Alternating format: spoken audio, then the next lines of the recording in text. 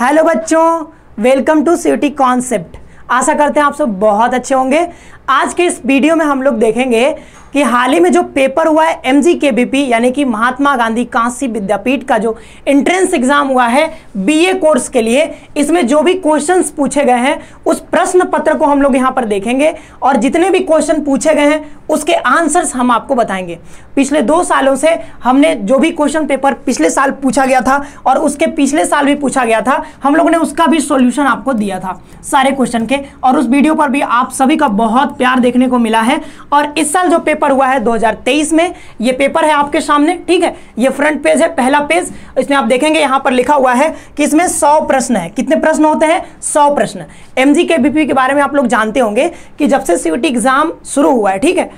Common common university entrance test के बारे में आप लोगों ने सुना होगा और आप में से कई बच्चे इसमें अपियर भी हुए होंगे इस साल। अब जो ये स्टेट यूनिवर्सिटी है यूपी की एम जी के ठीक है? ये यूँ कहें तो उत्तर प्रदेश का सबसे मतलब माना जाना ये स्टेट यूनिवर्सिटी है, बहुत फ़ेमस है, जो कि वाराणसी में ही स्थित है। और ये जो है सीवीटी में शामिल नहीं है। आपको पता होगा कि ये सीवीटी में शामिल नहीं है। वैसे तो बहुत सारी यूनिवर्सिटीज़ हैं स्टेट यूनिवर्सिटीज़ और अराउंड फोर्टी थ्री जो है वो सेंट्रल यूनिवर्सिटीज़ ऐसे कई सारे यूनिवर्सिटीज़ जो है वो शामिल है सीवीटी में। लेकिन एम जी जो है आपका, वो सीवीटी में शामिल नहीं है। इसलिए ये अपना पेपर जो है, वो अलग से कंडक्ट कराती है, हर साल कंडक्ट कराती है, ठीक है? पिछले दो सालों से कई बच्चों ने हमारे प्लेटफॉर्म से तैयारी भी करी है और जितने भी क्वेश्चन करवाए गए इसमें, रजनीश सर ने लगभग ऑलमोस्ट सारे क्वेश्चंस पहले ही करा चुके थे और सारा क्वेश्चन जो है कहीं ना कहीं सिटी कॉन्सेप्ट में जो भी रजनी सर ने पढ़ाया, वो आपके पेपर में देखने को मिल मिल रहा है, ठीक है? और मैं अभी एक एक करके आपको बता भी दूँगा, ठीक है, कि कौन कौन से क्वेश्चन आया सारे क्वेश्चन आप देखेंगे तो आपको पता खुद भी चल जाएगा। पहले से जो चैनल से जुड़े हुए हैं और जो आप रजनी सर को अगर फॉलो करते हैं तो सारे क्वेश्चन लगभग जीके जीएस से ही हैं सारे क्वेश्चन मैथ रीजनिंग के तो बहुत कम ही क्वेश्चन है बट जितने भी क्वेश्चन आए हैं, कहीं ना कहीं हम कह सकते हैं ईजी लेवल के क्वेश्चन है और रजनी सर ने सारे क्वेश्चन आपको पहले से करा रखे हैं। अगर आप लाइव सेशन में जुड़ते होंगे तो आपको ये सारी चीज़ें पता होगा, ठीक है? तो सौ क्वेश्चन होते हैं और यहाँ पर आपको यह भी बताया गया है कि कोई भी ऋणात्मक मूल्यांकन नहीं है, यानी कि नो नेगेटिव मार्किंग कोई भी नेगेटिव मार्किंग इसमें नहीं होता है। और अब हम लोग चलते हैं आगे और एक एक करके हम लोग क्वेश्चन को देखते हैं टोटल हंड्रेड क्वेश्चन है, ठीक है? हम आंसर आपको बताते चलेंगे। आप अपना मिलान कर लीजिएगा। जिन्होंने भी पेपर दिया है, वो सभी लोग अपना अपने जो, आपने जो आंसर दिया है, उसे अपना मैच कर लीजिएगा मैच करने के बाद कमेंट बॉक्स में ज़रूर बताएगा कि आपका कितना मार्क्स आ रहा है सौ में से, ठीक है? क्योंकि नेगेटिव मार्किंग है नहीं तो बताएगा कितने सही हुए हैं, ठीक है? कितने मार्क्स आपको आ रहे हैं? चार सौ मार्क के हैं तो एक क्वेश्चन मतलब कि चार सौ मार्क्स के हैं, ठीक है? तो सौ क्वेश्चन है और एक क्वेश्चन कितने हो जाएगा? चार चार नंबर का तो टोटल कितने हो जाएँगे? चार सौ नंबर के, ठीक है? तो इस हिसाब से आप कैलकुलेट कर लीजिएगा। और इससे पहले आगे बढ़े तो चैनल को भी सब्सक्राइब कर लीजिएगा, सिटी कॉन्सेप्ट को और बेल आइकन को प्रेस कर लीजिएगा, ठीक है? ताकि आगे आने वाले जो भी अपडेट्स होंगे, वो सब आप तक पहुँचते रहेंगे टाइम टू टाइम ठीक है? बढ़ते हैं आगे और मैं आपको अब क्वेश्चन की ओर ले चलता हूँ। ये रहा पहला क्वेश्चन ठीक है? पहला क्वेश्चन आपसे पूछा गया था इसमें कि पहला क्वेश्चन आपसे पूछा गया, ओके, ठीक है? पहला क्वेश्चन भारत का पहला परमाणु ऊर्जा केंद्र कहाँ स्थापित हुआ? तो इसका आंसर क्या हो जाएगा आपका? तारापुर, ठीक है? तारापुर इसका करेक्ट आंसर था। एक्सप्लेने एक्सप्लेनेशन नहीं देंगे आपको क्योंकि एक्सप्लेनेशन अगर देने लगे तो हंड्रेड क्वेश्चन का एक्सप्लेनेशन देने में बहुत लंबी वीडियो हो जाएगी। तो आप लोग बस आंसर देख लीजिएगा और मिलान कर लीजिएगा। तो तारापुर इसका करेक्ट आंसर होगा। और दूसरा क्वेश्चन था, किस संविधान संशोधन के द्वारा मौलिक कर्तव्यों को भारतीय संविधान में शामिल किया गया है? तो यह था आपका करेक्ट आंसर बच्चों। बयालीसवां संविधान संशोधन, ठीक है? बयालीसवां संविधान संशोधन। आगे बढ़ते हैं और आगे का क्वेश्चन देखते हैं। यह रहा तीसरा क्वेश्चन हवा में ऑक्सीजन का प्रतिशत कितना होता है? देखिए कितना ईजी क्वेश्चन पूछा गया था कि हवा में ऑक्सीजन का प्रतिशत कितना है तो ये 20 प्रतिशत के आसपास होता है 19 पॉइंट समथिंग। तो 20 परसेंट हम कह सकते हैं वैसे तो 21 परसेंट होता है आ, बट 20 पॉइंट समथिंग होता है ठीक है? सॉरी मैंने नाइनटीन बोल दिया। बीस पॉइंट समथिंग होता है ठीक है? बट पहले से हम लोग पढ़ते आए कितना? 21 होता है। बट इसमें 20 दिया है तो करीब करीब मतलब ट्वेंटी पॉइंट समथिंग होता है बट हम 20 लेकर चलेंगे इसमें, ठीक है? तो 20 हो जाएगा। इसका सही आंसर रेड क्रॉस का संबंध किससे है? तो इसका संबंध हो जाएगा युद्ध में राहत कार्य से, इसका संबंध हो जाएगा, ठीक है? रिलीफ वर्क इन वॉर कहीं भी लड़ाई झगड़ा हो जाता है तो उसमें जो रिलीफ वर्क के लिए ये रेड क्रॉस जो है, वो काम करती है। आगे चलते हैं। आगे रहा पचवा सवाल, दादा साहब फाल्के पुरस्कार किस क्षेत्र में दिया जाता है? तो ये दिया जाता है बच्चों आपको, यहाँ पर फ़िल्म यानी कि सिनेमा जगत में आपको ये दिया जाता है, दादा साहब फाल्के पुरस्कार कहाँ दिया जाता है? ये फ़िल्म जगत में दिया जाता है। ठीक है, आगे चलते हैं। आगे चलते हैं एक एक करके सारे क्वेश्चन आप देख लेंगे। उच्चतम न्यायालय में न्यायाधीशों की नियुक्ति की जाती है। किसके द्वारा की जाती है? तो ये किया जाता है बच्चों आपके, ये प्रेसिडेंट के द्वारा, यानी कि राष्ट्रपति के द्वारा। किसके द्वारा? राष्ट्रपति के द्वारा। अगला क्वेश्चन था which one of the following is a fish ये क्वेश्चन थोड़ा सा ट्रिकी था और थोड़ा सा हो सकता है कि आपको टफ लगा हो और कई बच्चों ने हो सकता है इसका आंसर जो है वो गलत बनाया हो। बट इसका सही आंसर हो, होगा, वो क्या हो जाएगा? कैट फ़िश क्या हो जाएगा? ये इसका करेक्ट आंसर हो जाएगा आपका कैटफिश आगे बढ़ते हैं और लेते हैं आठवां सवाल. ये रहा आठवां सवाल कि Bombay high is famous for तो बॉम्बे हाई का नाम आपने सुना होगा. ये बॉम्बे हाई किस लिए फ़ेमस है? तो यहाँ पर पेट्रोलियम उत्पादन होता है। क्या? पेट्रोलियम, आप पेट्रोलियम, ठीक है? ये पेट्रोलियम खनिज जो है, वो यहाँ पर मिलता है पेट्रोलियम। आगे देखें, वर्दे बीड़ा वादनी, वर्दे, ये प्रार्थना आप, हो सकता है कि अपने स्कूल लाइफ में आपने किया हो, हमने किया था, ठीक है? ये प्रार्थना चलती थी वहाँ पर। तो वर्दे बीड़ा वादनी किसने लिखा है? तो ये लिखा है किसने? सूर्यकांत त्रिपाठी निराला। सूर्यकांत त्रिपाठी निराला जी ने ये लिखा था। अगले क्वेश्चन पर आगे बढ़ते हैं। ये रहा अगला क्वेश्चन। प्रथम ज्ञानपीठ पुरस्कार किसने आ, किसे मिला था? तो पहला जो ज्ञानपीठ पुरस्कार है वो किसको मिला है? ये यहाँ पर पूछा जा रहा है। तो इसका करेक्ट आंसर क्या हो जाएगा बच्चों? ये हो जाएगा जी शंकर कुरूप। जी शंकर कुरूप को पहला जो ज्ञानपीठ पुरस्कार जो है वो मिला था। आगे बढ़ते हैं। अगला क्वेश्चन यहाँ रहा सत्यार्थ प्रकाश सर्वप्रथम कहाँ प्रकाशित हुआ? ठीक है? तो ये कोई ना कोई हर साल क्वेश्चन जो होते हैं, जो भी एम के में क्वेश्चन पूछे जाते हैं तो एक दो क्वेश्चन वाराणसी से रिलेटेड होते ही हैं। तो सत्यार्थ प्रकाश जो था, वो कहाँ से प्रकाशित हुआ था? ये वाराणसी से ही प्रकाशित हुआ था। सत्यार्थ प्रकाश के बारे में आप लोगों ने पढ़ा होगा, ठीक है? तो ये हो जाएगा, ये इसका क्या आंसर हो जाएगा? वाराणसी। शांतिपूर्ण विलय की नीति किस गवर्नर जनरल ने आरंभ किया था? तो किसने किया था? यह किया था लॉर्ड डलहौजी ने। आप जब मॉडर्न हिस्ट्री पढ़ते होंगे तो वहाँ पर आप इनके बारे में पढ़ते होंगे, लॉर्ड डलहौजी के बारे में। ठीक है? डॉक्ट्राइन ऑफ़ लैब्स के बारे में। चलिए, आगे बढ़ते हैं। आगे बढ़ते हैं, और यहाँ पर एक क्वेश्चन जो है, एक दो क्वेश्चन रीजनिंग से भी आ गए थे। वैसे सारे के सारे क्वेश्चन जो है, वो कहीं ना कहीं जीके से क्वेश्चन है, जीएस से क्वेश्चन है, बट यहाँ पर देखेंगे हम तो यहाँ पर दी गई श्रृंखला में अगला अंक कौन होगा? तो ये सीरीज़ से क्वेश्चन पूछा गया था। बहुत इजी क्वेश्चन था। आपको पहले दो जोड़ना था इसके बाद दो से गुड़ा करना था ठीक है? चार दो छह फिर छह दुना बारह बारह दो चौदह फिर चौदह दुना अट्ठाईस अट्ठाईस दो तीस और तीस दुना कितना हो जाता? इसका करेक्ट आंसर आपको ये साठ हो जाएगा। और ये भी देखिए ये भी काफ़ी इजी क्वेश्चन था। ये लेटर सीरीज़ से क्वेश्चन था। यहाँ पर आप देखेंगे सी के बाद डी डी के बाद ई e, ई e के बाद क्या जाएगा? एफ़ इतना इजी क्वेश्चन था। डी के बाद ई e, ई के बाद एफ़ एफ़ के बाद जी और वैसे ही देखेंगे आप लास्ट वाला एफ़ के बाद जी एच के बाद आई हो जाएगा। यानी कि एफ़ जी आई आपका करेक्ट आंसर हो जाएगा ऑप्शन नंबर ए तो आगे चलते हैं। अगला क्वेश्चन में बताता हूँ आपको अगला क्वेश्चन का आंसर ये बैंक संबंधित है मुद्रा से, इसी प्रकार परिवहन किससे संबंधित होगा? तो ये भी कहीं ना कहीं, ये एनोलॉजी से क्वेश्चन है, आपके रीजनिंग से ही क्वेश्चन है। तो यहाँ पर देखिए bank is related to money तो बैंक किसका सर्कुलेशन करता है? मनी का, ठीक है? मनी रखता है, देता है, बांटता है सबको अलग अलग बैंक को प्रोवाइड करता है, आप भी रखते होंगे, पैसा निकालते होंगे, ठीक है?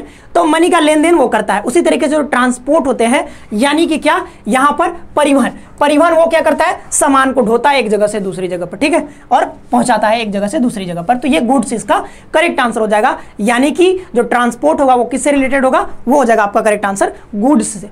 ठीक है? आगे बढ़ते हैं। अगला क्वेश्चन देखें तो यहाँ पर पूछा गया था, निम्नलिखित में से कौन सा अधिवर्ष नहीं है? ये कैलेंडर से क्वेश्चन है और काफ़ी इजी क्वेश्चन था। आपको बस बताना था कि कौन सा इज़ नॉट लिप ईयर मतलब कौन सा लिप ईयर नहीं है? तो लिप ईयर आपको पता ही है, जो चार से विभाजित हो जाए या फिर चार सौ से विभाजित हो जाए। ठीक है, क्योंकि ये सारे सेंचुरी ईयर है तो आपको 400 से भाग दे करके यहाँ पर देखना पड़ता। तो सब में 400 से भाग चला जाएगा। तो ये तो अधिवर्ष हो गए, लेकिन कौन नहीं है? तो ये 707 जो है, वो एक नॉर्मल ईयर है जनरल ईयर है। तो ये लिप ईयर नहीं था ऑप्शन नंबर वन आपका करेक्ट हो जाएगा। भारत सरकार द्वारा राष्ट्रीय प्रतीक अपनाया गया तो राष्ट्रीय प्र, प्रतीक जो है वो कब अपनाया गया था? इस बारे में भी आपने पढ़ा होगा। नेशनल एम्बलम को कब एडॉप्ट किया गया था? गवर्नमेंट ऑफ़ इंडिया के द्वारा तो यह छब्बीस जनवरी उन्नीस सौ पचास को किया गया था एडॉप्ट आगे बढ़ते हैं। आगे बढ़ते हैं। यहाँ पर अपने अक्ष पर एक घूर्णन के लिए पृथ्वी द्वारा लिया गया समय कितना है? अब देखिए, ये क्वेश्चन थोड़ा सा मतलब हम कहेंगे थोड़ा सा टफ या फिर ज़्यादा फैक्चुअल हो गया था ये क्वेश्चन तो हो सकता है कई लोगों को याद ना हो और कई लोगों ने हो सकता है गलत बनाया हो, क्योंकि हो क्योंकि किसको याद रहता है इतना? बहुत मतलब कह सकते हैं कि सबको याद तो रहता नहीं है इतना। छोटी छोटी चीज़ें मतलब सेकंड भी याद करना है मिनट ठीक है मिनट तो चल जाएगा, फिर सेकंड भी याद करना है। इसका सही आंसर वैसे हो जाएगा ऑप्शन नंबर ए तेईस घंटे छप्पन minute four point zero nine second ठीक है? ये एग्जैक्ट आंसर होगा आपका ऑप्शन नंबर ए हो जाएगा। आगे बढ़ते हैं। आगे था, भारतवर्ष में कितने वैश्विक धरोहर है? तो 2022 के डेटा के अनुसार अगर हम बात करें वर्ल्ड हेरिटेज साइट्स कितने हैं भारत में? तो वो आपके हैं 40 कितने हैं बच्चों? ये आपका करेक्ट आंसर हो जाएगा 40 कितना हो जाएगा? ये 40 जो है, वो आपका करेक्ट आंसर हो जाएगा। अभी के पीरियड में अगर देखें हम तो 40 जो है वर्ल्ड हेरिटेज साइट्स हैं कहाँ? इंडिया में। आगे बढ़ते हैं। और अगला सवाल ये रहा, इक्कीसवां सवाल, भारत में प्रथम राष्ट्रीय शिक्षा नीति का सृजन हुआ था। तो कब हुआ था? अभी देखें न्यू एजुकेशन पॉलिसी जो है, वो अब इंप्लीमेंट होने वाला है। हो सकता है 2024 में ना हो पाए 2025 में हो। तो ये थोड़ा सा न्यूज़ में भी है और न्यूज़ में ना भी रहता है तो ये तो फैक्चुअल सवाल पूछते ही हैं। तो भारत में प्रथम राष्ट्रीय शिक्षा नीति कब आया था? वर्ष उन्नीस सौ छियासी में आया था और अभी रिसेंटली आया, ठीक है? आपको पता होगा न्यू एजुकेशन पॉलिसी आया। तो ये क्या आंसर हो जाएगा इसका? यहाँ पर ये ईयर 1986 आगे बढ़ते हैं। आगे बढ़ते हैं यहाँ पर। संयुक्त राष्ट्र संघ द्वारा प्रत्येक वर्ष अंतरराष्ट्रीय मानवाधिकार दिवस मनाया जाता है। कब मनाया जाता है? तो ये मनाया जाता है बच्चों 10 दिसंबर को मानव अधिकार दिवस के रूप में मनाया जाता है। ये रहा बाईसवां सवाल। अब आगे बढ़ते हैं हम, और ये रहा आज का तेईसवां सवाल। तेईसवां सवाल, ठीक है? ये रहा तेईसवां सवाल। अब इसमें देखते हैं, भारत में ऊर्जा का सबसे महत्वपूर्ण स्रोत कौन सा है? तो सबसे महत्वपूर्ण स्रोत तो सबसे ज़्यादा ऊर्जा तो थर्मल एनर्जी जो है, वो हमारे यहाँ सबसे ज़्यादा उत्पादन किया जाता है, ठीक है? तापीय विद्युत ऊर्जा। बट अगर हम बात करें सोर्स की तो उसमें कोयला जो है वो सबसे बड़ा स्रोत है सबसे महत्वपूर्ण स्रोत है जहाँ से आज भी हम लोग ऊर्जा उत्पादन करते हैं। सबसे ज़्यादा कहाँ से होता है? कोयला से उत्पादन होता है ठीक है? आ, आ, जो नवीकरणीय ऊर्जा स्रोत है उसकी बात चल रही है उसके उसमें हम लोग आगे बढ़ रहे हैं अग्रसर है। बट अभी भी कोयला से हमारी आ, जो मोस्ट एनर्जी जो नीड्स है ना इंडिया की वो सारे कहाँ से? पूरे होते हैं, वो होते हैं कोयला से। फाइलेरिया किस प्रकार से होता है? तो ये प्रोटोजोआ यानी कि प्रोटोजोआ के कारण होता है। फाइलेरिया एक रोग है, आपको पता होगा। ये किसके कारण होता है? प्रोटोजोआ के कारण पच्चीसवें क्वेश्चन पर आगे बढ़ते हैं। पच्चीसवां क्वेश्चन ये रहा आज का पच्चीसवां क्वेश्चन इलेक्ट्रिक बल्ब का फिलामेंट बना होता है। काफ़ी बेसिक क्वेश्चन है, आप लोग बचपन से ही पढ़ते आ रहे होंगे। जब जीके की एक छोटी सी किताब होती है ना, छोटी सी पहले आती थी, ठीक है? उसमें भी ये क्वेश्चन दिया रहता था, ठीक है? ये टंगस्टन हो जाएगा इसका करेक्ट आंसर आगे चलते हैं। अगला क्वेश्चन पृथ्वी दिवस मनाया जाता है। बताओ, बहुत इजी क्वेश्चन था ये। पृथ्वी दिवस कब मनाया जाता है? ठीक है? तो यहाँ पर हो जाएगा ये 22 अप्रैल। 22 अप्रैल को मनाया जाता है। निम्नलिखित में से कौन सा अनुच्छेद वित्त आयोग के गठन की बात करता है?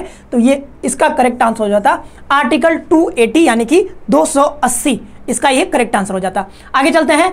भारत में वस्तु एवं सेवा कर जीएसटी प्रणाली कब लागू हुई थी? तो ये ये लागू हुआ था, आपको पता होगा कि 2017 में जीएसटी आया था और लागू हो गया था आपका जुलाई 2017 से। कब हो गया था? जुलाई 2017 से आपका गुड्स एंड सर्विसेज़ टैक्स जो है, ये लागू हुआ था। सूचना आयोग कब पारित हुआ? तो ये हो गया था आपका 2005 में। सूचना आयोग, सूचना का अधिकार सबको है। तो सूचना आयोग आया था कब? ये हो गया था 2005 में। सुंदरवन डेल्टा कौन सी नदी बनाती है? काफ़ी बेसिक क्वेश्चन है, सभी को पता होगा। गंगा और ब्रह्मपुत्र नदी जो है, वो सुंदरवन डेल्टा बनाती है। ठीक है? चलिए आगे बढ़ते हैं। बे ऑफ़ बंगाल में ये बनाती है, आगे चलते हैं। प्रथम परमाणु परीक्षण किस सन में किया गया था? किस सन में भारत ने प्रथम परमाणु परीक्षण किया? तो ये आपको पता होगा, इसकी कहानी आपने हो सकता है पढ़ा हो। ये आपका हो जाएगा उन्नीस सौ चौहत्तर में किया था। कब? पोखरण में किया गया था ये परमाणु परीक्षण 1974 में। वेदों की ओर लौटों का नारा किसने दिया? तो ये स्वामी दयानंद सरस्वती का नाम आपने सुना होगा। इसका करेक्ट आंसर हो जाएगा ऑप्शन नंबर बी ये रहा बत्तीसवां सवाल। आगे बढ़ते हैं। भारत में सर्वप्रथम राष्ट्रपति शासन कहाँ लगाया गया था? ये लगाया गया था कहाँ पर? पंजाब में। कहाँ पर लगाया गया था? पंजाब में। ठीक है? तो काफ़ी क्वेश्चन जो है, वो जीके से ही है।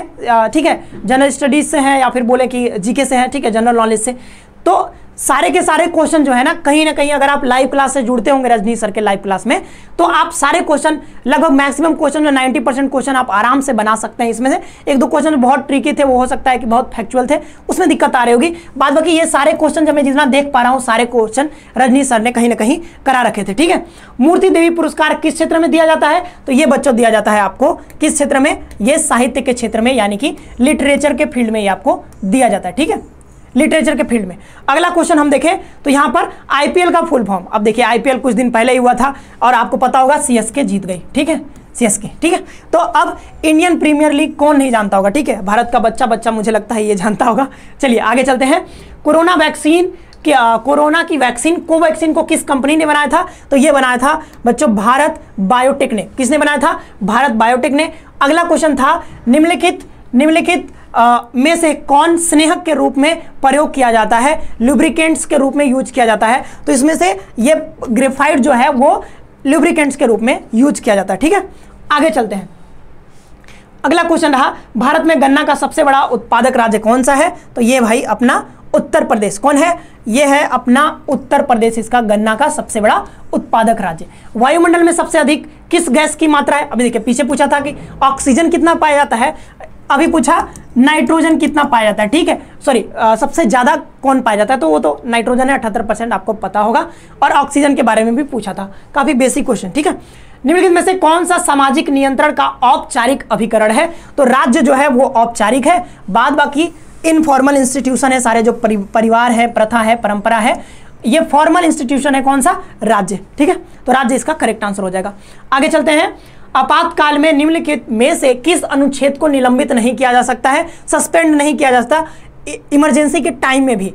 तो भाई, ये जो है article 21 article 21 right to life की बात करता है जो, वो नहीं किया जा सकता। जीवन का अधिकार किसी से नहीं छीना जा सकता है। 2011 की जनगणना के अनुसार भारत में लिंगानुपात है कितना है? नौ बहुत इजी क्वेश्चन आगे चलते हैं। अलमाटी बाँध किस नदी पर बना है? तो यह है कृष्णा नदी पर। कौन सा? ये हो जाएगा इसका करेक्ट आंसर हो जाएगा कृष्णा नदी पर। यह कृष्णा नदी पर है, ठीक है? आगे चलते हैं। गिर राष्ट्रीय उद्यान किस राज्य में है? तो गिर है गुजरात में और आपको शेरों के लिए बहुत फ़ेमस है, पता होगा आपको, ठीक है? भारत के किस राज्य का सबसे लंबा समुद्र तट है? देखिए, गुजरात से एक क्वेश्चन पूछा, फिर गुजरात से क्वेश्चन पूछा। तो सबसे लंबा समुद्र तट किसका हो जाएगा? कोस्टल कोस्ट लाइन किसका हो जाएगा? यह हो जाएगा गुजरात का। आगे चलते हैं। किस दक्षिण भारतीय राज्य में उत्तम ग्राम प्रशासन था। तो चोल साम्राज्य का आपने नाम सुना होगा। किसका?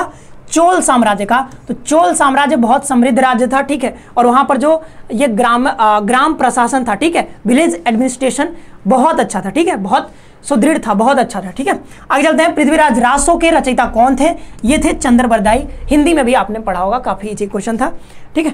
निम्नलिखित में से किस राजवंश ने सर्वप्रथम स्वर्ण मुद्राएँ चलाई? तो सर्वप्रथम तो चलाया था किसने? कुषाणों से, कुषाणों ने, लेकिन सबसे ज़्यादा किसने चलाया था? वो गुप्तों ने गुप्तों ने चलाया था। तो पूछा है सबसे पहले किसने चलाया? तो कुषाणों ने। किस गुप्त शासक ने विक्रमादित्य की उपाधि धारण की? तो चंद्रगुप्त द्वितीय को ही हम लोग क्या बोलते हैं? विक्रमादित्य। तो चंद्रगुप्त विक्रमादित्य, ठीक है? चंद्रगुप्त सेकेंड। चलते हैं आगे। अगला क्वेश्चन आपके सामने रहा। अगला क्वेश्चन। सख समवत का आरंभ किस वर्ष हुआ था। तो ये हुआ था अठहत्तर ईस्वी में। यानी कि 78 एडी में हुआ था। बीसी में नहीं, ध्यान रखेगा कब हुआ था? 78 एडी में हुआ था, ठीक है? 78 एडी में। तो ये ऑप्शन नंबर 20 का करेक्ट आंसर हो जाएगा। देखिए अगला क्वेश्चन गौतम बुद्ध ने अपना प्रथम धर्मोते धर्मोपदेश कहाँ दिया था? तो ये भी वाराणसी में ये पेपर होता है क्योंकि एम जी के भी, भी खुद वाराणसी में है तो वाराणसी पर इसका फोकस रहता है। एक क्वेश्चन पहले भी पूछा था और यहाँ पर सारनाथ जो है वो भी वाराणसी में ही है। तो ये गौतम बुद्ध वाला सवाल जो है धर्मोपदेश कहाँ दिया था? सर्वप्रथम सारनाथ में। अजंता प्रसिद्ध है किस लिए? तो ये चित्रों के लिए है पेंटिंग्स के लिए। अजंता में कई सारी पेंटिंग्स मिलती हैं अलग अलग धर्मों से रिलेटेड ठीक है आगे चलते हैं। रघुवंश महाकाव्य के लेखक कौन है? तो ये हो जाएगा आपका सही आंसर, क्या हो जाएगा? कालिदास। कालिदास का आपने नाम सुना होगा। ये कालिदास इसका करेक्ट आंसर हो जाएगा। ठीक है? किसे? आदि कवि कहा जाता है। तो ये कहा जाता है बच्चों, वाल्मीकि को। ठीक है? और वाल्मीकि को कौन नहीं जानता ठीक है? आप सभी लोग जानते होंगे रामायण के रचयिता वाल्मीकि। ठीक है?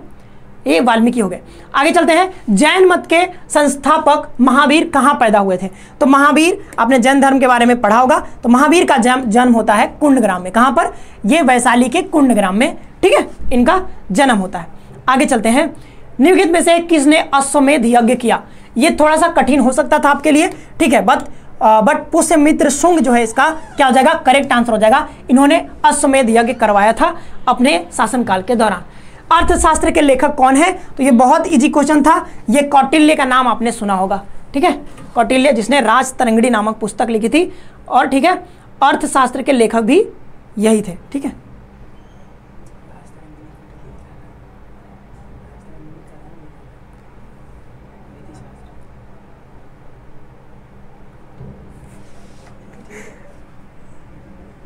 करवाएगा आप? नहीं नहीं ठीक है। अब क्या?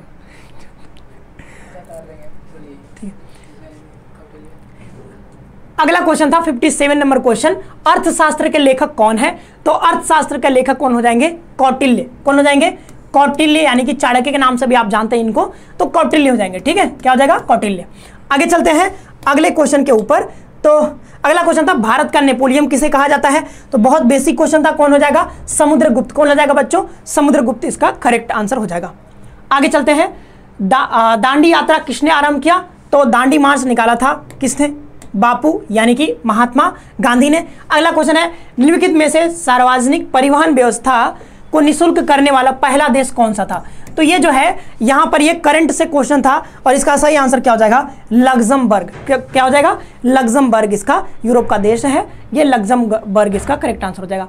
भारतीय सामाजिक दर्शन के अनुसार कितने संस्कार बताए गए हैं? काफ़ी इजी क्वेश्चन था। तो ये हो जाता आपका सोलह। कौन सा? सोलह संस्कार है आपको पता होगा। सोलह संस्कार होते हैं हिंदू धर्म में। किसकी अनुशंसा पर विश्वविद्यालय अनुदान आयोग गठित किया गया था? तो ये किस कमेटी आ, किस आ, आयोग विश्वविद्यालय अनु, अनुदान आयोग गठित किया गया था? किसकी अनुशंसा पर? तो ये किया गया था सर्वपल्ली राधाकृष्णन आयोग की अनुशंसा पर। ऑप्शन नंबर ए आपका करेक्ट हो जाएगा ठीक है? आगे चलते हैं। आगे रहा क्वेश्चन भारत में वैज्ञानिक तरीके से पहली बार राष्ट्रीय आय का आकलन किसने किया था? तो ये किया था बच्चों, किसने किया था? Grand old man of India Dadabhai Naoroji ने। किसने किया था? दादा भाई नौरोजी ने। भारत में सबसे बड़ा सार्वजनिक उपक्रम कौन सा है? तो ये है रेलवे, ठीक है? ये रेलवे है बिगेस्ट पब्लिक सेक्टर अंडरटेकिंग कौन सा है? रेलवे हो जाएगा आपका करेक्ट आंसर एग्रीकल्चर क्रेडिट के बारे में है कि एग्रीकल्चर क्रेडिट कौन देता है? तो साख, कृषि साख कौन? ये सारे लोग देते हैं। सेबी भी देता है, आरबीआई भी देता है, ठीक है? सेबी, आरबीआई, नाबार्ड, ठीक है? तो सभी इसका हो जाएगा आंसर। उपयुक्त सभी ऑप्शन नंबर डी। आगे चलते हैं। ये रहा छठवां नंबर क्वेश्चन। नरेगा लागू कब हुआ था? यानी कि, ठीक है, नरेगा के बारे में आपने सुना होगा। महात्मा गांधी राष्ट्रीय रोज़गार योजना, ठीक है? तो ये हो जाएगा, इसका क्या आंसर हो जाएगा? 2 फरवरी 2006 से। कब से हो गया लागू? ये 2 फरवरी 2006 से हो गया था, नरेगा लागू। भारत में सोना का उत्पादक राज्य कौन है? तो वैसे तो महत्वपूर्ण जो राज्य है सबसे ज़्यादा, ठीक है, वो जहाँ पर होता है सोना का उत्पादन, वो है कर्नाटक। कौन सा है? कर्नाटक। बाद बाकी आंध्र प्रदेश में भी थोड़ा बहुत होता है बट आंसर इसका क्या हो जाएगा? वो कर्नाटक हो जाएगा, ठीक है? कोलार के बारे में आपने सुना होगा, ठीक है? किन दो देशों के बीच रेड क्लिफ रेखा है? कितना इजी क्वेश्चन था, बहुत इजी क्वेश्चन था। भारत और पाकिस्तान के बीच रेड क्लिफ रेखा है। गाँव ठीक है? ये इसका आंसर हो जाएगा ऑप्शन नंबर ए गाँव, नगर और राष्ट्र किसके उदाहरण है? तो ये हो जाएँगे किसके उदाहरण? ये हो जाएगा समुदाय का उदाहरण। कौन हो जाएगा? कम्युनिटी का उदाहरण हो जाएगा। ना तो ये एसोसिएशन है, ना तो इंस्टीट्यूट और ना ही क्राउड में हम इसको गिन सकते हैं। क्या आंसर हो जाएगा? इसका आंसर हो जाएगा आप correct correct answer community Bharat क्या है? एक समुदाय है ठीक है? देश पूरा क्या है? हमारा नेशन एक समुदाय। शारदा एक्ट क्या रोकने के लिए पारित किया गया था? तो शारदा एक्ट जो पारित किया गया था, ये चाइल्ड मैरिज से संबंधित था। उसको रोकने के लिए, यानी कि बाल विवाह को ये रोकने के लिए ये लागू किया था चाइल्ड मैरिज, ठीक है? इसको रोकने के लिए, ठीक है? ठीक है? ये हो जाएगा आपका करेक्ट आंसर चाइल्ड मैरिज रोकने के लिए, ठीक है? आगे चलते हैं। सरलॉक होम्स के रचयिता कौन है? तो ये हो जाता आपका correct answer Arthur Conan Doyle ठीक है? ये हो जाएँगे इसका करेक्ट आंसर हो जाएगा इकहत्तरवा का। ये हो जाएगा आपका डी ऑप्शन कार्बोहाइड्रेट को यकृत एवं मांसपेशियों में से किस रूप में संचित किया जाता है? तो ये संचित होता है ग्लाइकोजन के रूप में, ठीक है? ग्लाइकोजन के रूप में ये संचित हो जाता है। आगे चलते हैं। निम्नलिखित में से कौन सी ग्रीन हाउस गैस नहीं है? तो ग्रीन हाउस गैस इसमें हाइड्रोजन जो आपको दिख रहा है, ऑप्शन नंबर डी, ये ग्रीन हाउस गैस नहीं है। बाद बाकी जो आपको दिख रहा है यहाँ पर, मीथेन, नाइट्रस ऑक्साइड और क्लोरोफ्लोरोकार्बन ये क्या हो जाएँगे? ये आपके ग्रीन हाउस गैस हो जाएँगे। निम्नलिखित में से ब्रिक का कौन सा कार्य नहीं है? सॉरी कौन सा कार्य है? तो ये पहला वाला नहीं होगा, ठीक है? पहला वाला इसका कार्य नहीं है। बाद बाकी जो दो हैं अल्ट्रा फिल्ट्रेशन और सेलेक्टिव री एब्जॉर्प्शन ठीक है? चयनित पुनः और पराक्षणन तो ये दोनों हो जाएगा ऑप्शन नंबर बी और सी दोनों सही है, यानी कि ऑप्शन नंबर डी आपका करेक्ट हो जाएगा, ठीक है? आगे चलते हैं। आगे है हीमोफोलिया है। तो हीमोफीलिया क्या है? तो हीमोफीलिया एक ये है जेनेटिक डिज़ीज़ है जेनेटिक बीमारी है, यानी कि आनुवांशिक व्याधि है। व्याधि का मतलब रोग होता है, ठीक है? ये बीमारी हो जाएगा आपका जेनेटिक डिज़ीज़ आगे चलते हैं। आगे कौन सी महिला सर्वप्रथम अंतरिक्ष में पहुँची थी? काफ़ी बेसिक क्वेश्चन है। जनरल जनरल नॉलेज की छोटी छोटी बुक्स में भी इसका आंसर होता है।